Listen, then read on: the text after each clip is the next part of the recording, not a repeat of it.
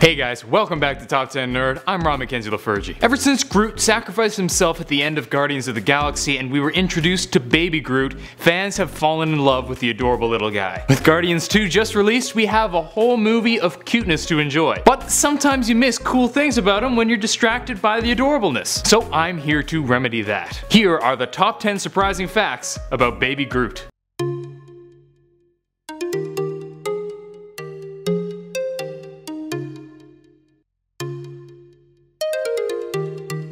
Number 10. Baby Groot cheered kids up at a children's hospital. After Chris Pratt lost a bet with Chris Evans, his punishment was that he went to a children's hospital in costume, armed with an adorable Baby Groot figure, and visited the kids there. Unsurprisingly, both Pratt and the Baby Groot were a hit with the kids, showing that even as an inanimate object, Baby Groot is doing more good in the world than I do. Number 9. Baby Groot has a number of abilities. While it may be that in baby form his abilities are somewhat lessened, Groot does have some powers that we've yet to see in the film Full disclosure, I haven't seen Guardians 2 yet since it just came out when I was writing this, so maybe some of this will be answered in the film. In the comics, Groot is able to draw wood to him psychokinetically to rebuild his own body and even command trees to fight for him. If we see a fight in the woods, Groot may really shine, and that's pretty gnarly. Ah.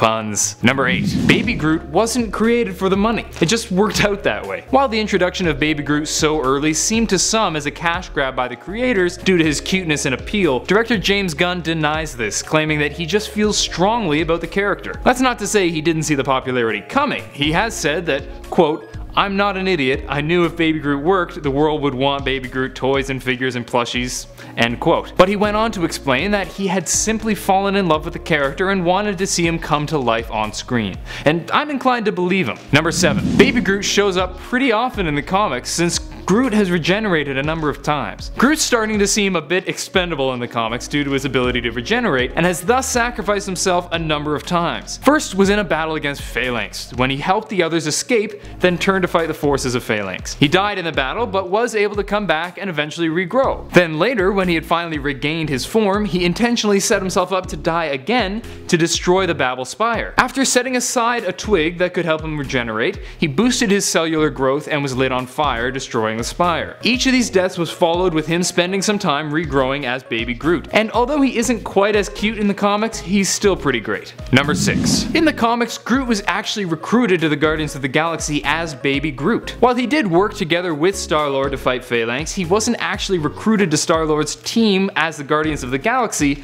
until after the events had ended. After his sacrifice to destroy the Babel Spire, Baby Groot and his buddy boy Rocky were at a bar when they were approached by Star-Lord to join his team. While Baby Groot suggested that the team be called Groot and Branches. They understandably went with Guardians of the Galaxy instead. I still think Groot and Branches is better. Number 5. There's some disagreement as to whether Baby Groot is just a young version of Groot or an offspring that kept certain memories. The whole regeneration thing brings up a number of questions. Is he creating life when he creates extra Groots? Is his consciousness transferred on death or is it duplicated on the creation of the new cutting? And this is all further convoluted because he lacks many of his old memories in the film, but in the comics he generally retains retains his memories. Personally, I'm of the opinion that Baby Groot is an offspring of Groot and that the Groot we saw in Guardians 1 is dead. It's sad, but since it's possible for Groot to make cuttings in advance of his death, I think Baby Groot is just an offspring. But this is definitely debatable. Let me know what you think in the comments. This whole thing is kind of a similar issue with that of teleportation. Uh, would your consciousness end when you're teleported and a new copy's made? I could talk about this for hours, but don't worry, I won't. Or will I? No. Number 4. To go along with the lack of memories, Baby Groot is just that, a baby. For those of you who've seen the film, you'll know that he's very childlike and mischievous, and not particularly smart. Not that he's a rocket scientist when he's big. If you haven't seen the movie, prepare yourself for a very different Groot from the stoic, silent guy we got to know in Guardians 1. Many people, myself included, feel that Baby Groot really fills out the team, and his new personality helps to differentiate him from the other large and imposing character, Drax. Number 3. Baby Groot is exploding in pop culture. Uh, you probably already know about all the Baby Groot merchandise from action figures to t-shirts, but he's actually going to be getting his moment in the spotlight in other ways. He has a new series of comics coming out on May 24th called I Am Groot, which will follow Baby Groot's adventures stranded on an alien planet. There also may be a Baby Groot movie on the way. In an interview, Vin Diesel said that a solo Groot spin-off may be inevitable. According to him, James Gunn has talked about the possibility of the film and seemed very interested. While he wasn't speaking specifically about Baby Groot,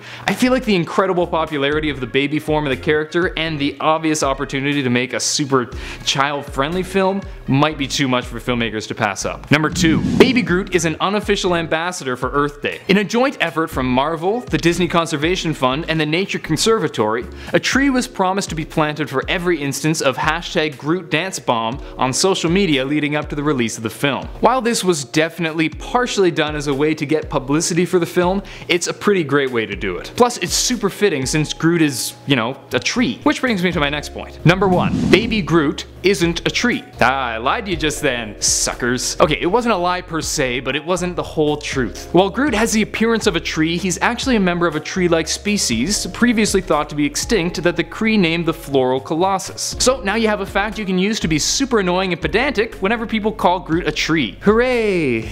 That's it for now. Hope you guys enjoyed, and even if my hosting was crap, at least you got to see a bunch of adorable pictures of baby Groot. If you liked what you saw, smack that thumbs up button and subscribe to Top 10 Nerd for more videos. Feel free to check out my own YouTube channel, link below. I finally resolved some technical issues, so I'm excited to get rolling. Uh, who do you like better, Big Groot or Baby Groot? Let me know in the comments down below. Until next time, I'm Ron McKenzie LaFurgey with Top 10 Nerd. Later, nerds.